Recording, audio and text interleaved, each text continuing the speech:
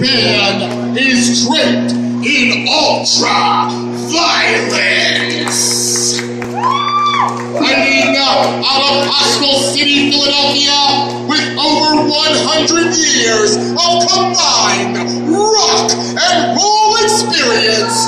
Ladies and gentlemen, prepare to feast your eyes and ears on the No Holds Barred, light tune smashing, thunderous drum pounding, panty dropping, fork to the face stabbing, alcohol swilling, table destroying, guitar rip shredding, foreign object wielding, ultra violent, underground, six man tag, and only current reigning deathmatch, rock and roll champions.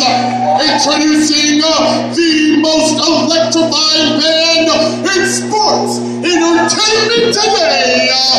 Eat the fucking